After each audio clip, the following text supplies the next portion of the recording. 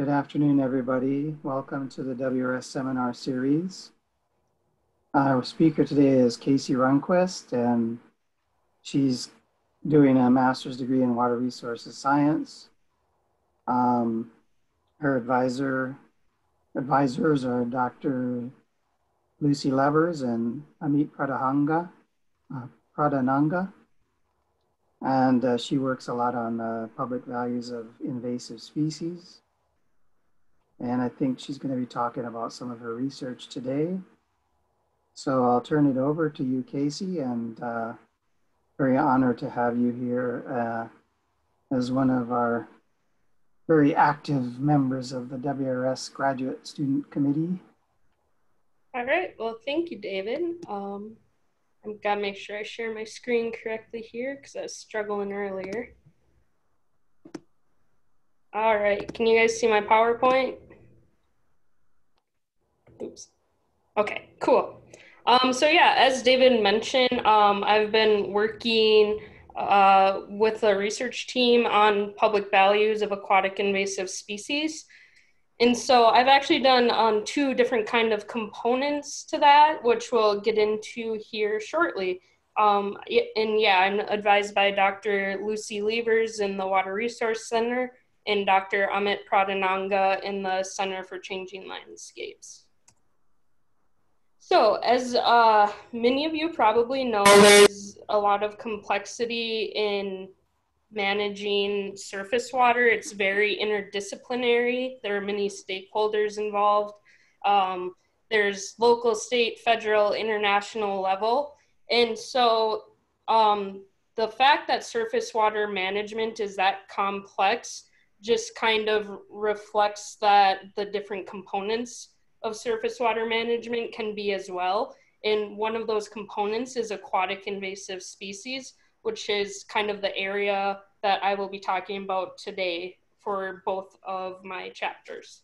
So, oops. I don't know why that's not working. There we go. All right, so um, as you guys think about what factors can influence phosphorus levels over here, I'm just going to talk a little bit about the common carp. So it's an aquatic invasive species that was intentionally introduced in 1877.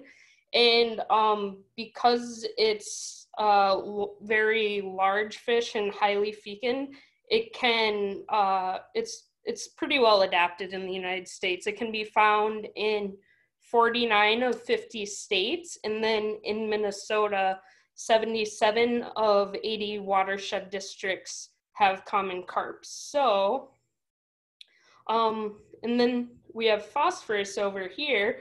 And so, as many of you probably know, phosphorus can be uh, affected by seasonality or phosphorus levels, I should say, in lakes. Let me clarify that. And so, um, yeah, there's many different things that can influence it. And so, while phosphorus is an essential element in overabundance, of course, it can be uh, negative to water systems and aquatic systems. So, um, one thing I wanted to explore further was this relationship between common carp and phosphorus.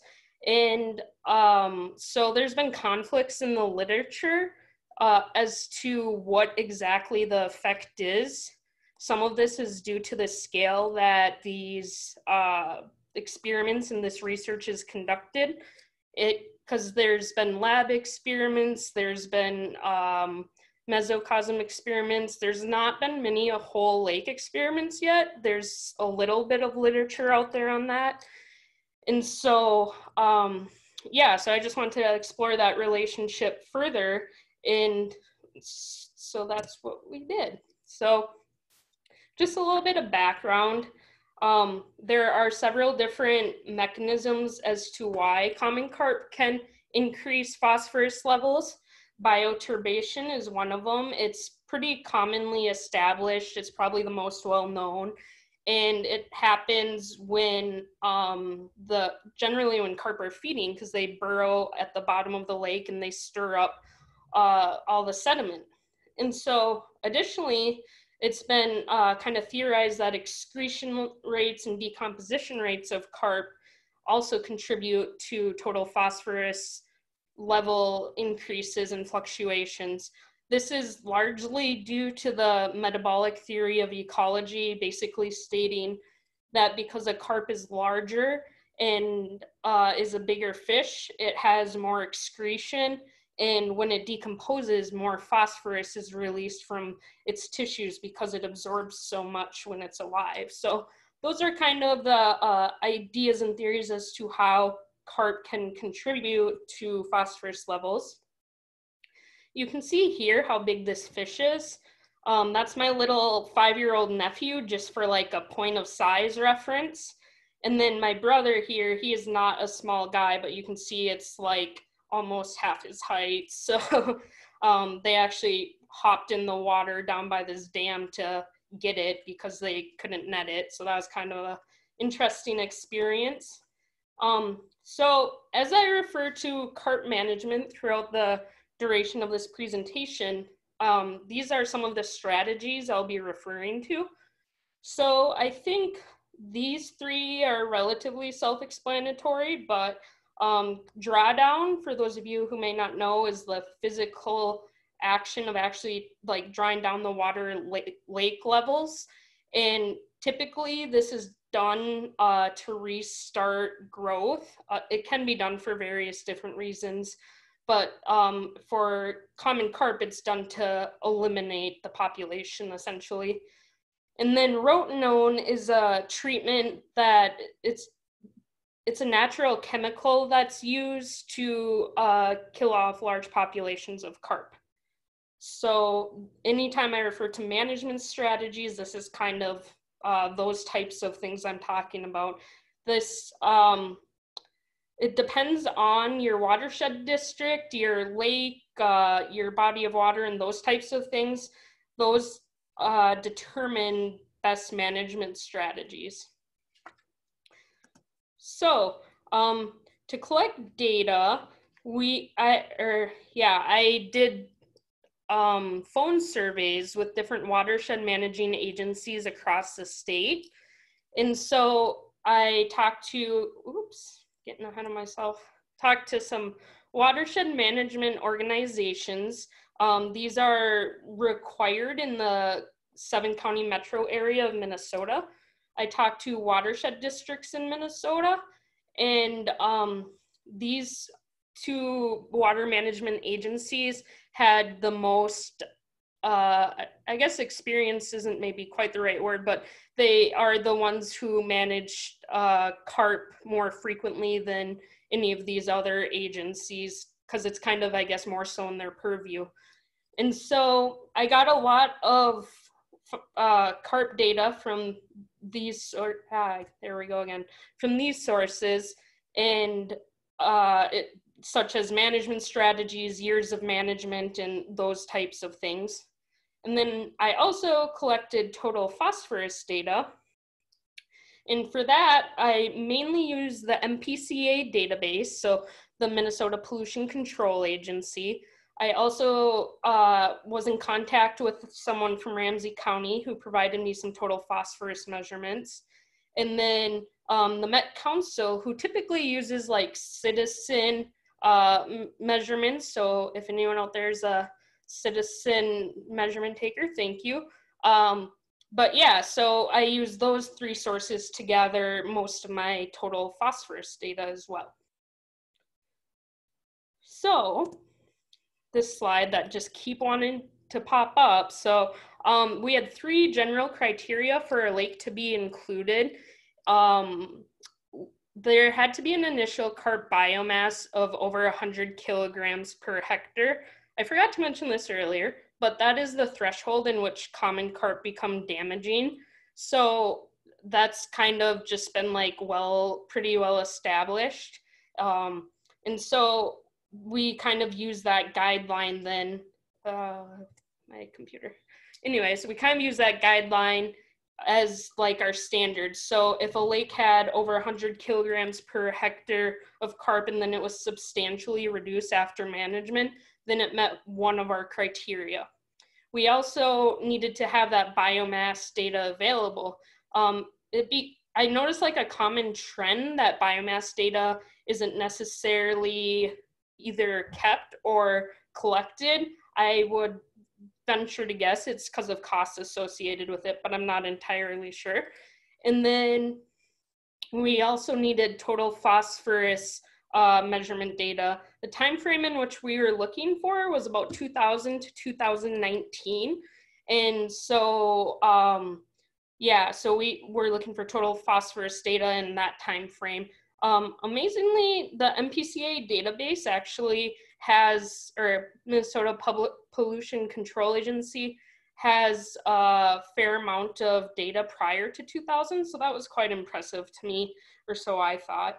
Um, so we started with about 75 lakes. And then after we saw which lakes would meet this criteria, um, it narrowed us down to about 10. So you can see down here, we have the lakes um, organized from shallowest to deepest. And then um, the green indicates total phosphorus levels before management, and the yellow indicates total phosphorus levels after management. So um, to calculate the total phosphorus before management, what I did was I took, uh, I went to the MPCA database or Met Council or whatever my data sources were and collected a monthly average for each month of the summer from May through September. And then I averaged that out to create a summer average. And then I had a summer average for every year leading up to management and including management. And then for TP after measurements, it was the same type of process where I use the um, monthly averages to create a yearly averages to create an average number. So um, we also have biomass measurements here. And the biomass before, uh, because the there's not much biomass data available, the biomass before data is the closest measurement to the management year. So like this could uh, have been a couple years before management actually occurred. This particular case was not, but um, and then same thing for biomass after. I didn't take averages of the biomass as it was just the closest available measurement after management had occurred. And so you can see here like some of the trends and such, but I just want to point out that of um, in Lake Lucy, there's actually a slight phosphorus increase, which was kind of interesting to see. So um, some of the results. So before we even did any analysis, we wanted to calculate the percent change in phosphorus for before and after management. So we use this formula and you can see that in all of these um, lakes, except again for Lucy, that there was a reduction in phosphorus, which is pretty neat.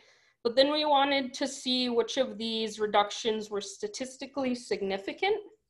And so we ran a t-test to look at the TP before average, the mean of that compared to the TP after. And so you can see here that in Casey, Pickerel, Howard, and Staring that there were significant differences. I also want to um, point out here that Pickerel is the only lake that's not in the. Okay. Only lake that's not in the north central hardwood forest ecoregion. It's actually in the western region. And so the only difference that really makes is the acceptable amount of total phosphorus levels for different uses. Um, so yeah, so these are just kind of the results. I, and one more note I want to make: uh, Kohlman, Keller, and Gervais, though they are kind of different water bodies, we they were included as one management chain. So the biomass measurements used for these were actually all the same, but the TP levels or total phosphorus measurements were different. So, um, some conclusions here.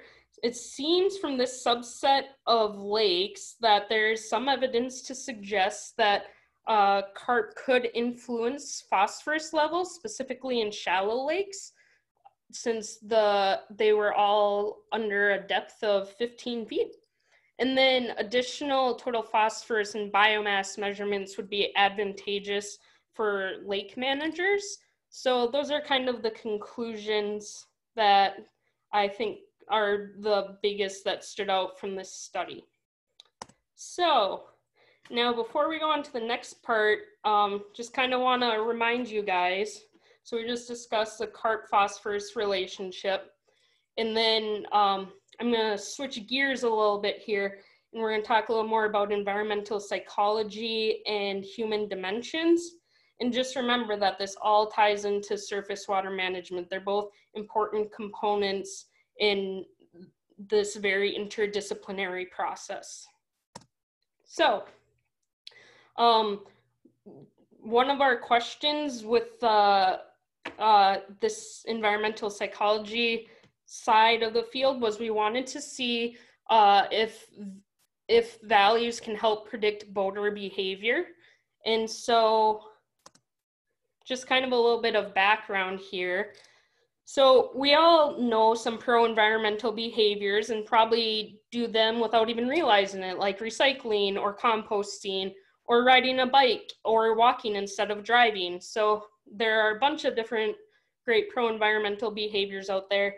Uh, but we're focused on aquat- uh, environmental behaviors regarding aquatic invasive species.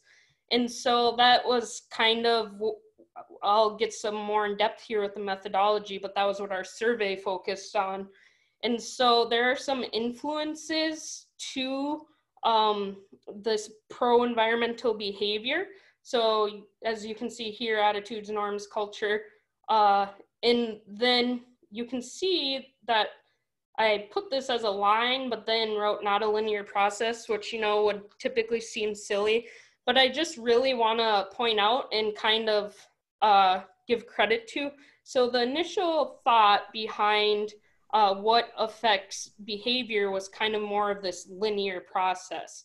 And it basically stated that the more knowledge, the more behavior change. Well, of course, that has uh, been proven for the most part not true, though knowledge still is an important component to behavior change.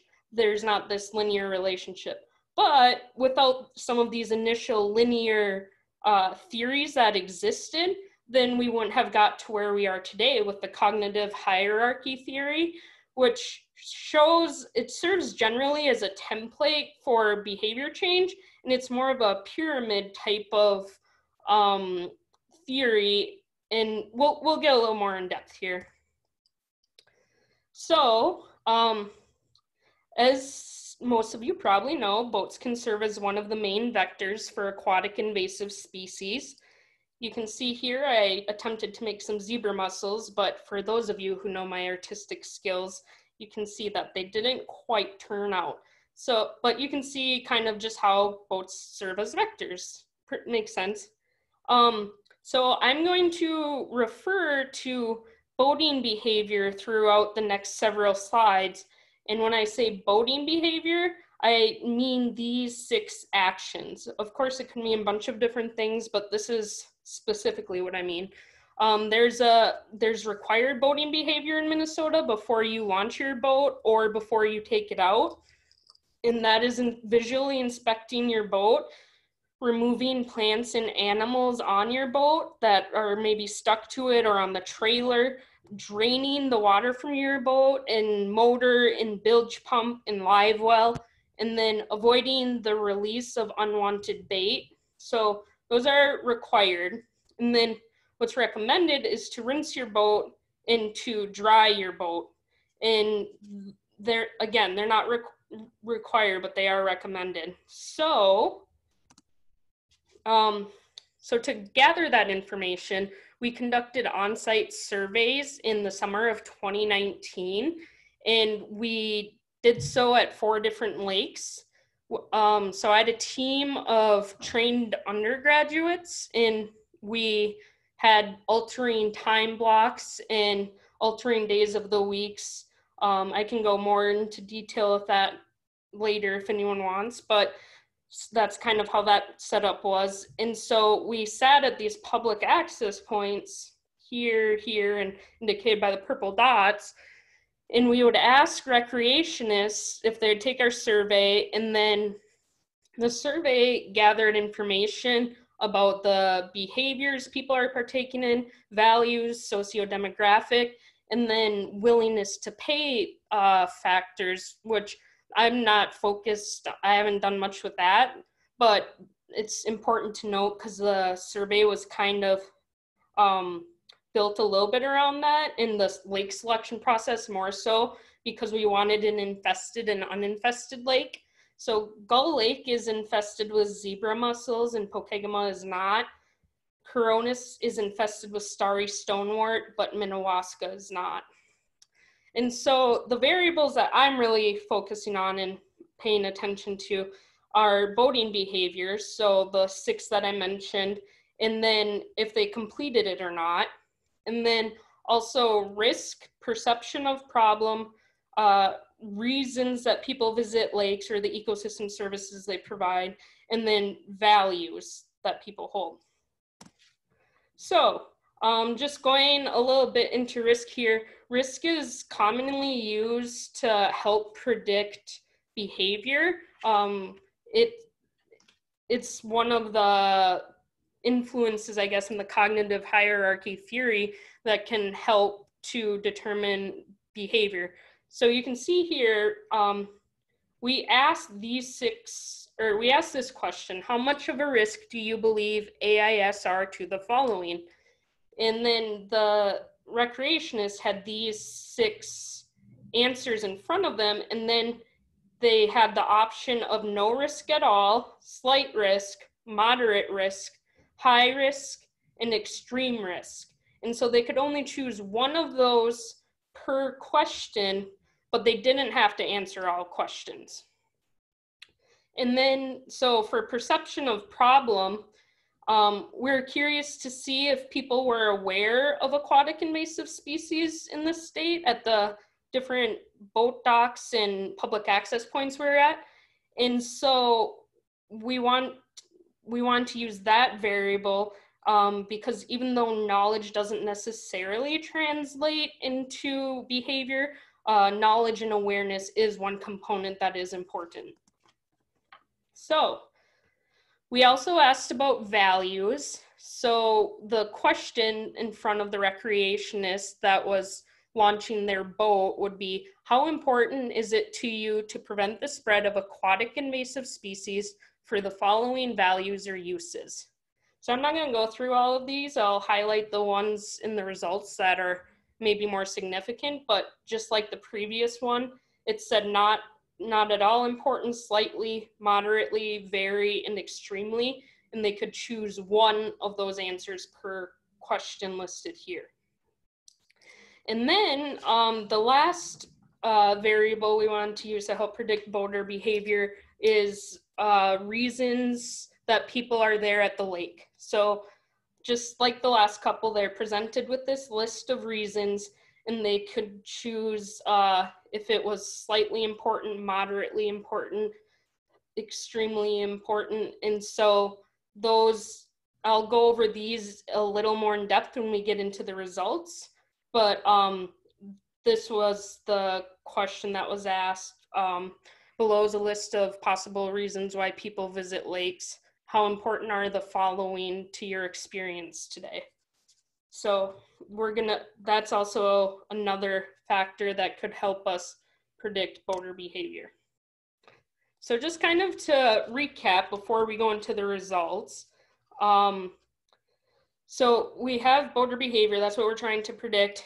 And we are using these different values to try to predict this boater behavior.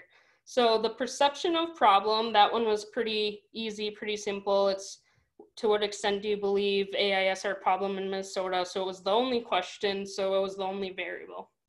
For values, it was um, that list of 10 that I will go over a little more in depth.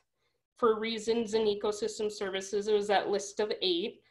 And then for risk, um, we had the six questions. To what extent do you believe aquatic invasive species pose a risk to? you? And it was habitat and some of those other ones. And we created two additional variables. We created total risk score and uh, mean risk score as well to see if there was any significant difference that way. Um, I also want to point out I intentionally like, made this a triangle shape just to kind of uh, bring it all together to remember that with the cognitive hierarchy theory, it is not a linear process. It is a bunch of different components that, that are brought together.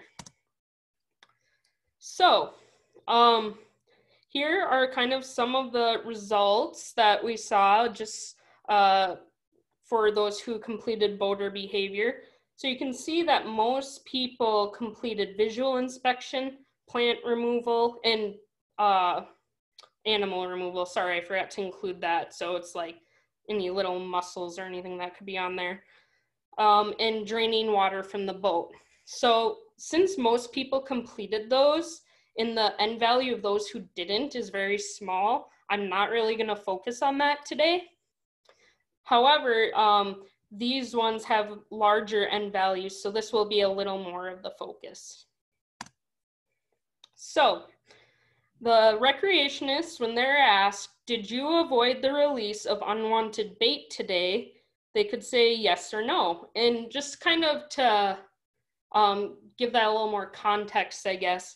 So, especially in Minnesota, I'm not sure what it's like nationally, you can't just like let your bait go into the lake like if it's a minnow or something and you can't take that water from the lake out of the lake to your home with a bait bucket or something. You either have to dump it out or you have to um, add some filtered water from like a bottle or something. So that's kind of what that's asking is if if you let bait back into the lake or not type of thing. And so this orientation may be kind of confusing, but for me, it made sense in my brain. So, um, for those who completed, or for those who avoided the release of unwanted bait into the lake, so for those of them who completed the behavior, oops, there we go. All right. The, um, this was their mean score of if they were there to socialize. So if you remember, the um, score values are from zero to four.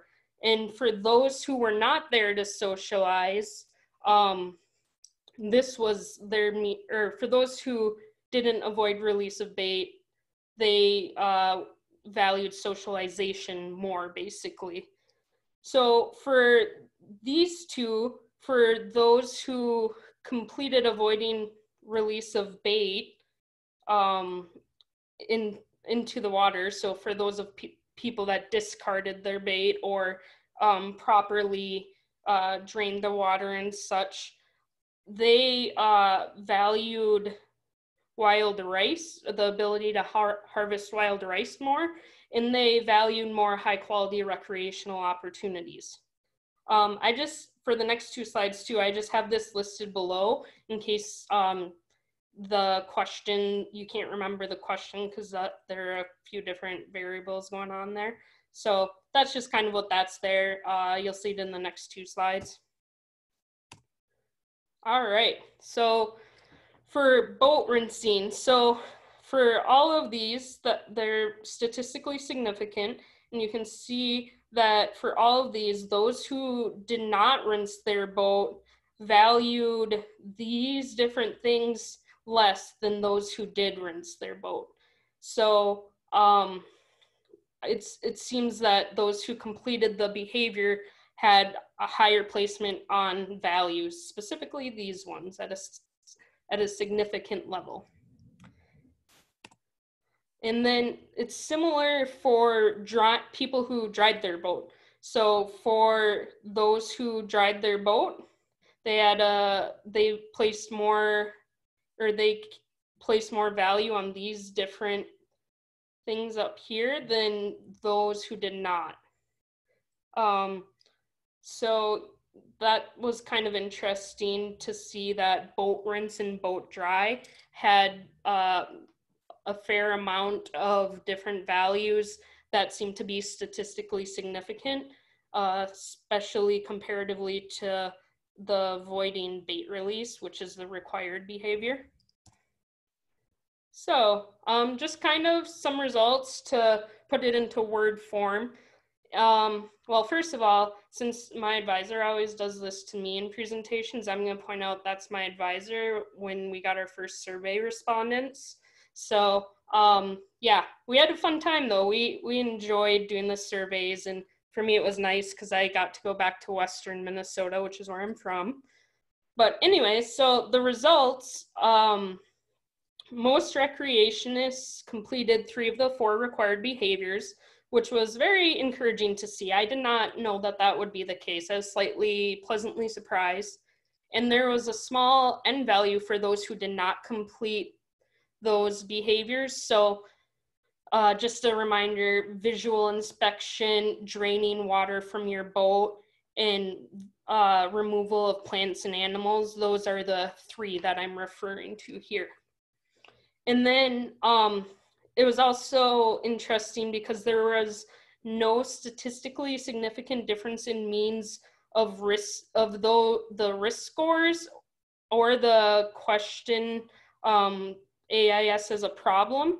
Um, so I guess breaking that down a little bit, those who completed a behavior versus those who did not for any of the behaviors, there is no diff- statistical significant difference in risk scores or awareness of AIS, um, which again kind of makes sense because it it's uh, kind of more of a pyramid where there's lots of contributing factors.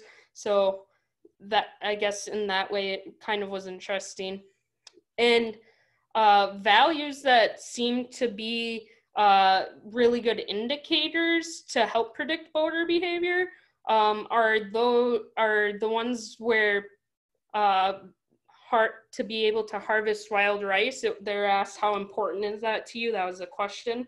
So to be able to harvest harvest wild rice and for high quality recreation.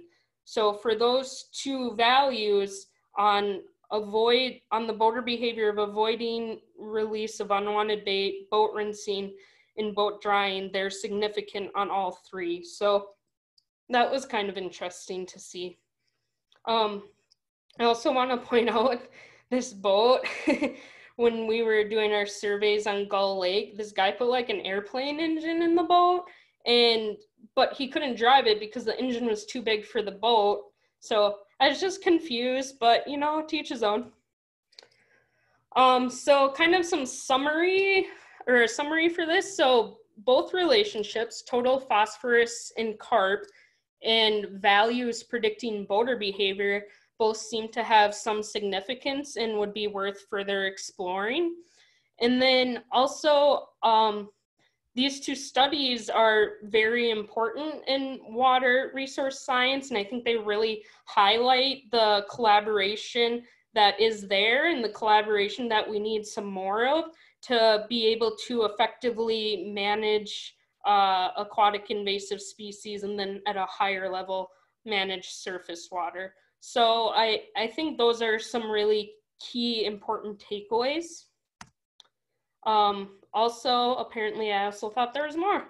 Anyways, so there are a lot of directions we can still go with the data that we currently have and just even using the same variables. So that could be interesting to further explore and then also just remembering how dynamic and complex that surface water management is and just making sure to like always keep that in mind as we try to work as a state and country and even at an individual level to try and improve surface water. So that's my works cited page. Um, I'd like to thank my advisors, Lucy and Amit, and my committee members, Przemek and Brent, and then all of my family and friends that joined to watch. So with that, I'll take any questions.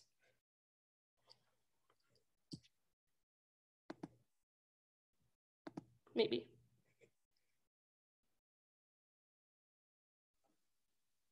Thank you, Kasey. That was really a great presentation. Um, I guess I'll start off just to break the ice. Thanks, David. Is there a specific, uh, you know, score on the survey of, of attitudes that you would um, estimate is necessary in order to protect lakes? Like, you know, if you got a, a score of two, is that low? Or you got a score of four, is that enough to protect the lake? That's Um, kind of what I'm asking. Which specific, which attitudes were you thinking, like the values or the reasons people go to lakes, or? Yeah, I mean, just take the values, for example. Okay, yeah. So like, I don't know that there's necessarily a specific threshold because I mean, keeping in mind the whole complex of the cognitive hierarchy theory, there's many additional factors that can also contribute to change in person's behavior. But um, I definitely think it's important to have like, uh, I mean, values are so important and influenced by so many different things. I think it'd be really hard to put a numerical value on it.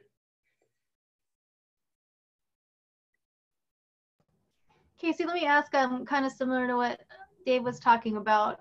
So for these these values, and I know you showed the, the difference between the means, but were was the spread much different? Um, like the the standard deviation of of the individual like scores of the group. So like the average was like two, so like between moderately and very important what, was it like a tight grouping were they all around there or was it kind of like evenly distributed Um, I think it was a little more evenly distributed. Um, I guess I'm not really sure. Off the top of my head, that's, I mean, yeah.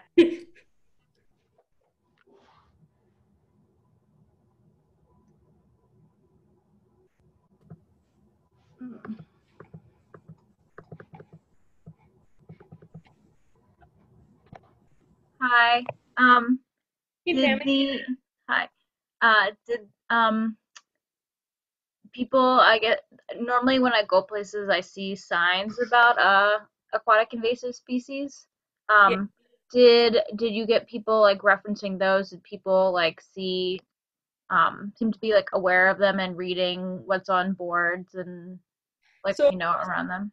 Yeah, just speaking personally from when I was out there, not like any data or anything we collected, it did not seem like people were super aware that these signs existed. I think I had one person point it out and then he answered the questions correctly and kept going. So I, it seemed like uh, people were not super aware of the signs, at least. Okay, so um, can you like, do you feel like anything in your work can tell you about like where people are getting their information from? And I guess how that would play into it? So I don't know that we had anything in the survey that specifically addressed where they got their information from. It's more so what they know and how much they like care about certain aspects. I I don't know that our survey has anything that would capture that.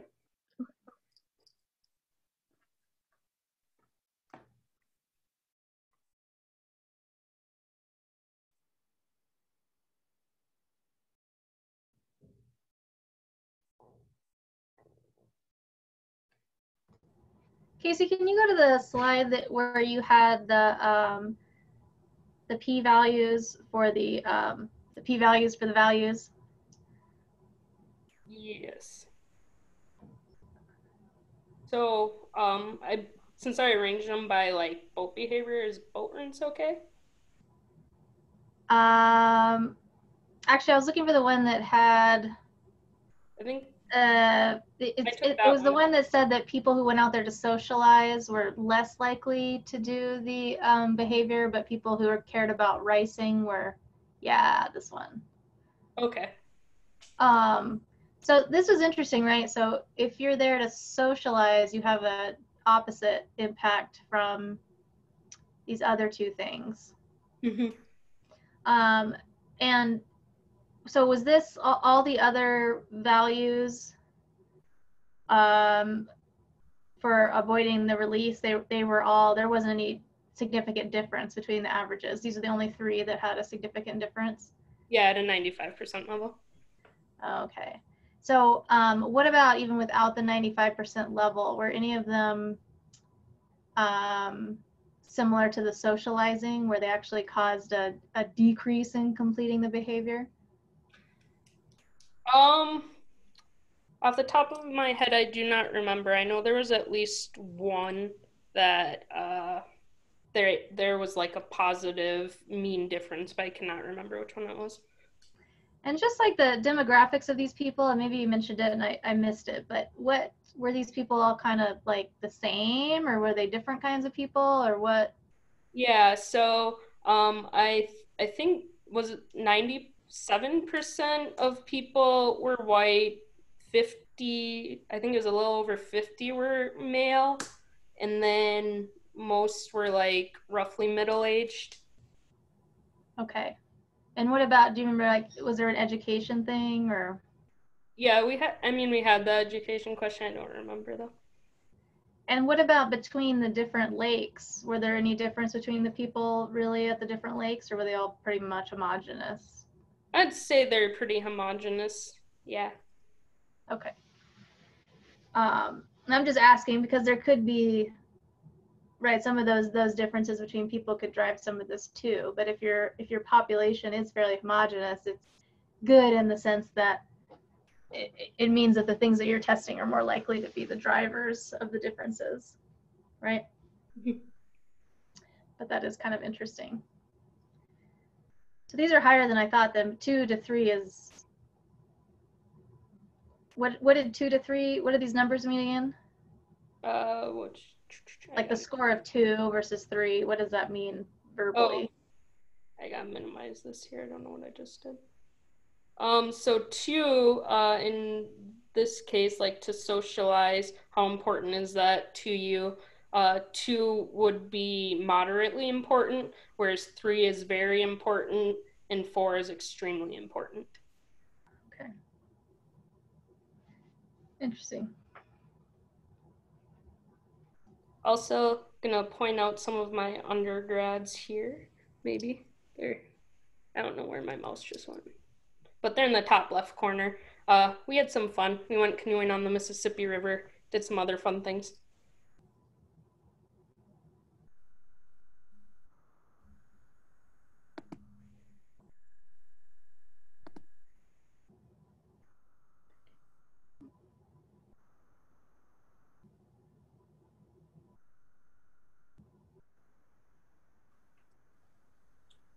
So um, on the phosphorus in the lakes and the carp results, Yes. it seemed like the uh, lake phosphorus was improving in So- most lakes.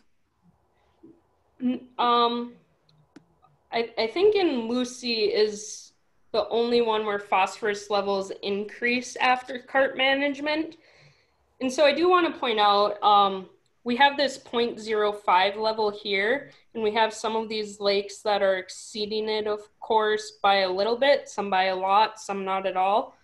But um, 0.05 is roughly the phosphorus range for the north central hardwood forest uh, eco region. And so the only lake that's not in there is Pickerel, and actually the range for phosphorus is even higher for um, the western Corn Belt Plain ecoregion. So I, I think we saw mostly a decrease in percentage of phosphorus change, but though not all of them were significant. There's a note from Doug Jensen uh, in the chat.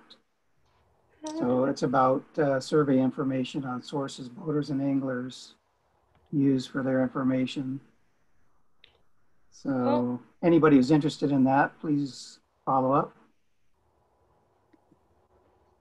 Could you repeat what that said again, David? I can't find my chat. Yeah, I mean, uh, the, the note says, if interested, Minnesota Sea Grant has survey info that shows what sources boaters and anglers get their information, as well as the best sources for them. Okay. Uh, the number one source is signs, So anyway, that's what the text message in the chat said. Okay, thanks, David.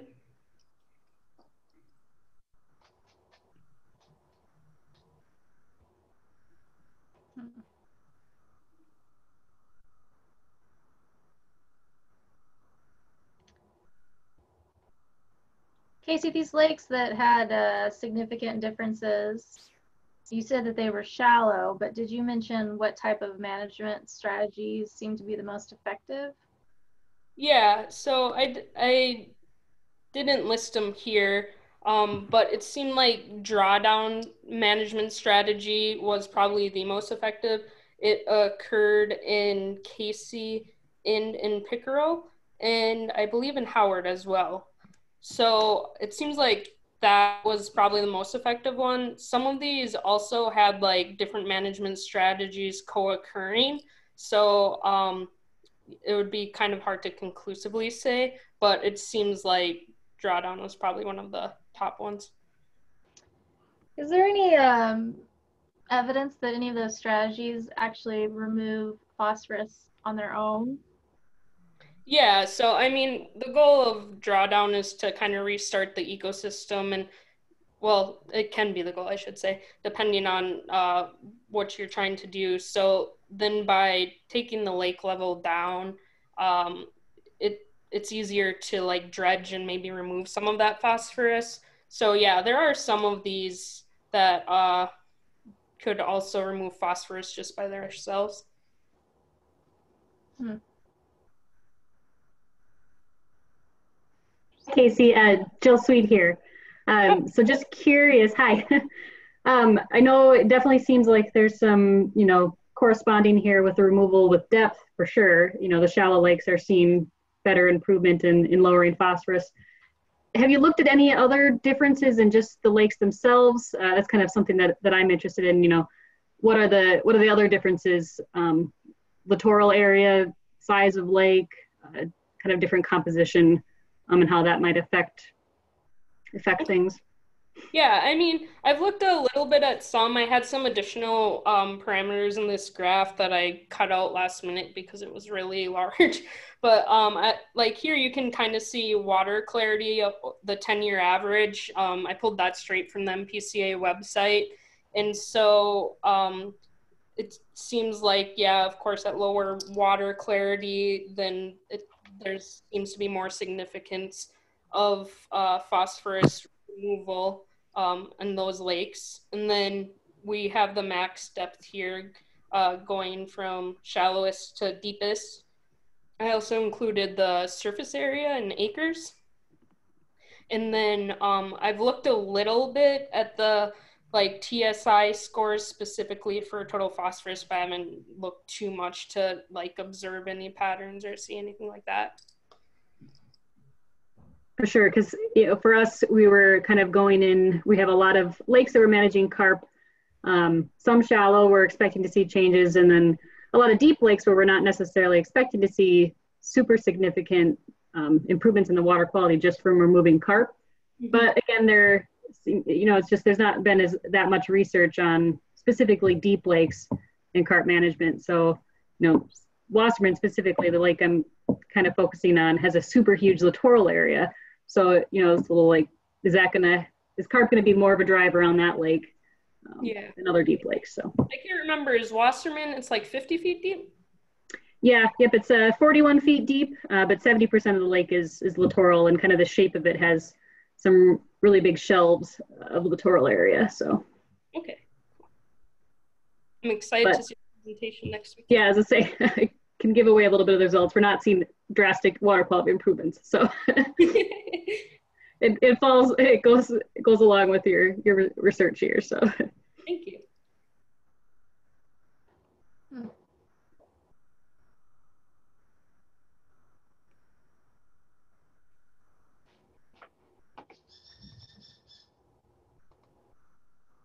Well, I think you broke the record uh, for the best attendance at the WRS seminar for this semester at least. So congratulations and uh, let's everybody give you a virtual hand and did a great job. Thank you very much.